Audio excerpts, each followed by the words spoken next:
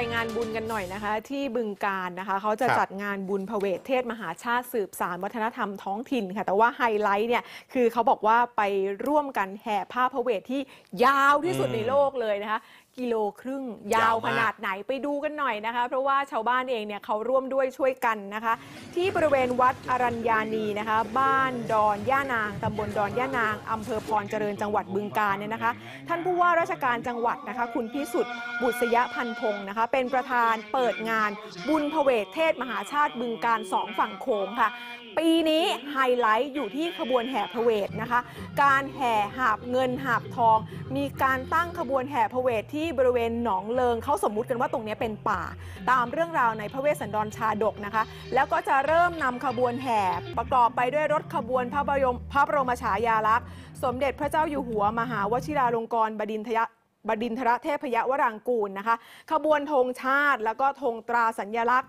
นี่มีขบวนฟ้อนรำแบบนี้ด้วยนะคะ แล้วก็มีการนำช้างมาร่วมขบวนพระเวสสันดรชาดกสองเชือกด้วยกันนะคะอ่ามีขบวนเนี่ยครับ นี่ภาพมุมสูงจะเห็นถึง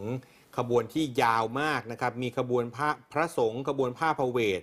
ซึ่งเป็นผ้าเนี่ยครับที่เขียนภาพเป็นเรื่องราวพระเวสสันดรชาดกทั้ง 13 กัน ซึ่งล้วนแล้วแต่แฝงปริศนาธรรมไว้ในขบวนผ้าพระเวทยาวถึงกิโลครึ่งนะครับ ระยะทางทั้งหมดนะครับทั้งหมดทั้งขบวนเลยเนี่ย2กิโลครึ่ง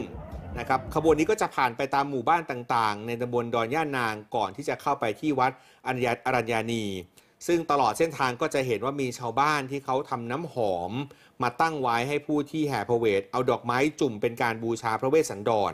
แล้วพอไปถึงบริเวณวัดก็จะนำผ้าพระเวทนั้นนะครับไปขึงที่บริเวณโดยรอบของศาลาการประเรียน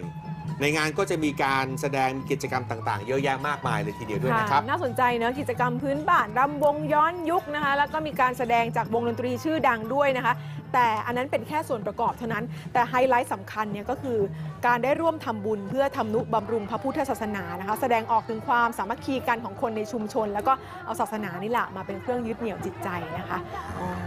อ๋อดิฉันก็เพิ่งเคยเห็นเหมือนกันนะว่าเป็นแบบนี้ยาวเหขมือนบกัวนนะยาวมากนะครับค่ะเฉพาะขบวนผ้าพระเวทเนี่ยกิโลครึ่ง ถ้าทั้งหมดของทุกขบวนรวมกันเนี่ยยาวถึง 2 กิโลครึ่งอืมยาวมากจริง ๆ นะครับ เป็นงานประเพณีประจำปีนะครับ